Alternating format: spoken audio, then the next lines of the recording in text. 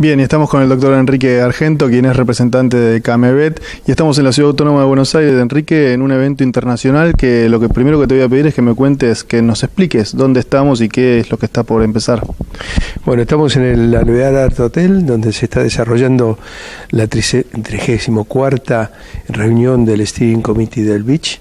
Eh, el Beach es una, es una eh, entidad tripartita eh, conformada por la Unión Europea, Japón y Estados Unidos, en donde básicamente eh, se orientan en la armonización de, normativas técnicas para el registro de medicamentos veterinarios. Bien, Enrique, ¿por qué? La pregunta es ¿por qué en Buenos Aires? ¿Por qué en Argentina esta edición?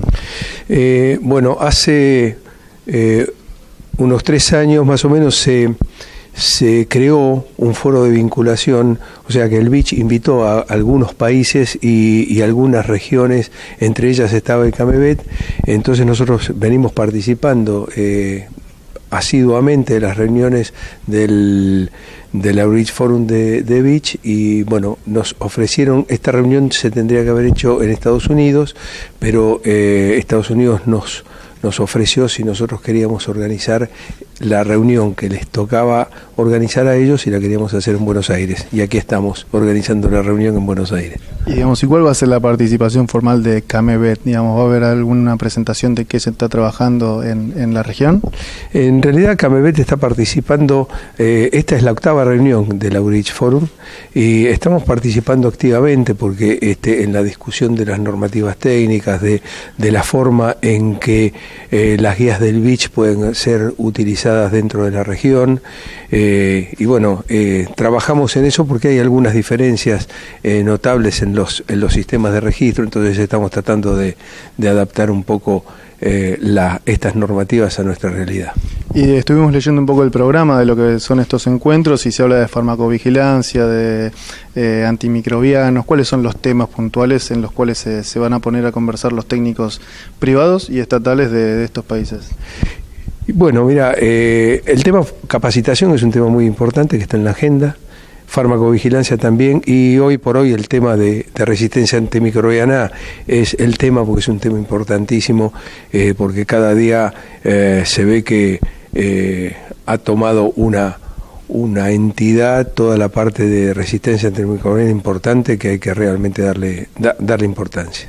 ¿Y son los mismos temas que ustedes debaten en el CAMEBET, digamos, o, el BICH trata unos temas y, nosotros en esta región otra? No, no, en general los, temas son bastante parecidas, las normativas técnicas son bastante parecidas, o sea, hay por supuesto algunas diferencias que tienen que ver con lo regional, eh, que tienen que ver con, con factores climáticos, factores este, de, realidades distintas, pero, pero básicamente este, en general los temas técnicos son son técnicos y son todos iguales. Y Enrique, lo último que te pregunto tiene que ver con por qué, digamos, la, a la industria veterinaria argentina tiene que estar atento a lo que se decida eh, en el BICH, tanto la industria veterinaria argentina como la de esta región que tiene una industria nacional, digamos, una industria productora de medicamentos veterinarios fuerte.